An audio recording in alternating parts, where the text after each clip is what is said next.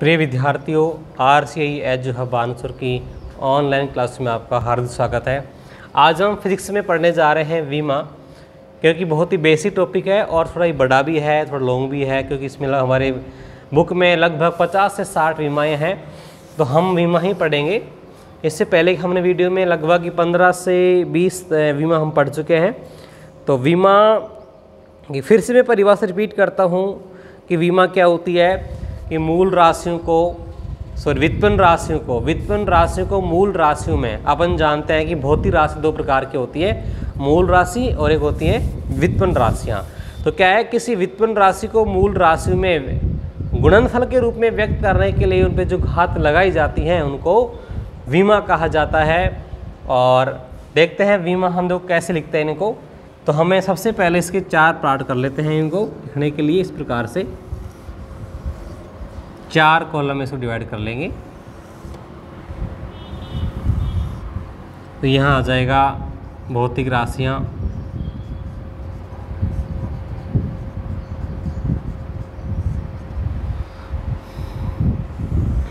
यहाँ आ जाएगा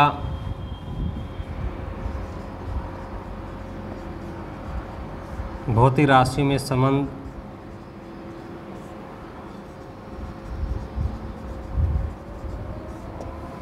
यहाँ आ जाएगा वी में सूत्र वी में सूत्र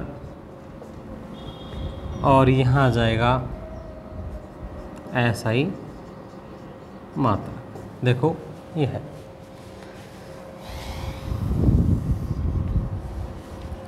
तो ये है। आज हम विमा पढ़ते हैं। प्रतिबल की पढ़ेंगे। प्रतिबल। प्रतिबल एक भौतिक राशि होती है। प्रतिबल बराबर होता है बल बटा क्षेत्रफल। ये होता है बल बटा क्षेत्रफल, ठीक है? देखो आगे। तो यहाँ हम लगाएँगे बल की विमा जो क्या होती है, जो होती है एम वन जो हम पढ़ चुके हैं पहले की वीडियो में M one L one T minus two ठीक है? और नीचे क्या है? क्षेत्रफल।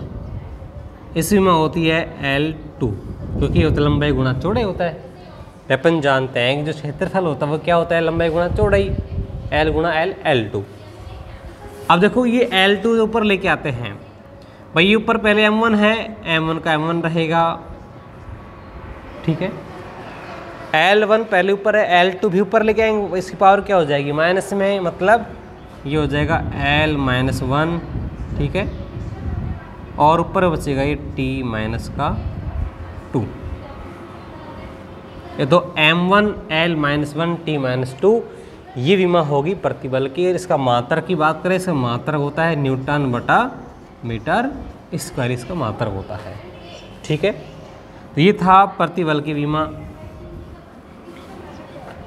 आगे हम बात करें विकृति।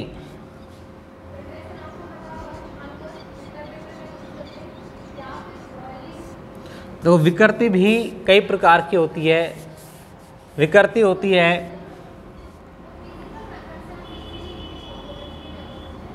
प्रारंभिक लंबाई में परिवर्तन और अंतिम लंबाई में परिवर्तन। लंबाई में परिवर्तन। तो यानी डेल्टा एल अपॉन एल। ठीक है? अब देखो यहाँ पे, यानी इसको हम यू भी लिख सकते हैं, इसको अगर लिखना चाहे तो जैसे इस कॉलम में नहीं आ रही जैसे डेल्टा एल अपॉन एल। ये देखो, सीधे लिखो इसको। Delta L upon L. Delta यानी लंबाई में परिवर्तन और एल का मतलब है प्रारंभिक लंबाई। तो एल बटा एल भाई, ये भी एल है ये भी एल है। इसको आप ऐसे भी लिख सकते हैं। तो एल बटा एल का मतलब क्या हो भाई? L one upon L one भाई, ये भी लंबाई है ये भी लंबाई है। ये लंबाई में परिवर्तन है और ये लंबाई है। ये होती है प्रारंभिक लंबाई। अब एल बटा जब एल ये अगर हो रहा है इस मतलब क्या है? यह न द्रव्यमान है, न कोई लंबाई। लंबाई तो यहाँ कट जाएगी। भाई एल वन है और एल ऊपर से क्या हो जाएगी? माइनस ज़ीरो तो यहाँ एम का मान क्या हुआ? ज़ीरो एल भी क्या हो जाएगा? ज़ीरो ठीक है? लंबाई ज़ीरो हो जाएगी। और यह समय है नहीं, समय क्या हो जाएगा? ज़ीरो यानी M zero L zero T zero अपन कह सकते हैं कि यहाँ विकृति क्या है? विमाहीन राशि है। यानी ये एक विमाहीन राशि होती है भाई। क्या होती है? विमाहीन राशि बोलते हैं इसको। इसका जो मात्रक है, ये विमाहीन होती है और मात्रकहीन भी होती है। क्यों? इसका कोई मात्रक नहीं होता, क्योंकि क्योंकि देखो, लंबाई का मात्रक क्या होता है? मीटर। ये मीटर दोनों आपस में क्या हो जाएँगे? कट जाएँगे। भाई, मीटर से मीटर क्या हो जाएगा? कट जाएगा। तो ये विमाहीन राशि व मात्रकहीन राशि होती है। इसकी बीमा नहीं होती, न इसका कोई मात्रक होता है। इसी प्रकार से जो अगला राशि जो आती है, अगला राशि कौन आती है? कौन बराबर होता है? चा बटे तिरजा चा बटे तिरजा चा बटे तिरजा। अब देखो चाप बटे तिरजा। अब चाप भी एक तरह से क्या है भाई? लंबाई है। और ये भी एक तरह से क्या है? लंबाई है, दूरी है, एक तरह से लंबाई हो गई। ये भी क्या है? एल बटा एल एल ज़ीरो हो जाएगी। तो यहाँ भी इसकी राशि क्या आ जाएगी? बीमा इसकी M zero L zero T zero. यानी ये बीमा इसकी क्या हो जाएगी? M zero L zero T zero. यानी ये भी एक तरह से क्या है? विमाहीन राशि है। ये भी विमाहीन राशि है।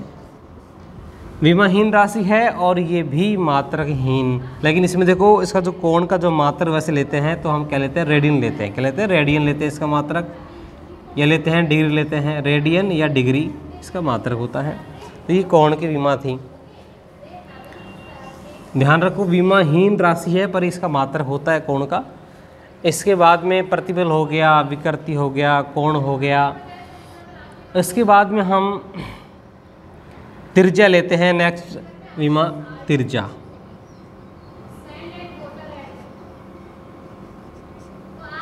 ठीक है, तिरजा एक तरह से लंबाई होती है एल वन तो देखो एल वन कई तरह दूरी है या लंबाई है तो इसका विमा क्या हो जाएगी?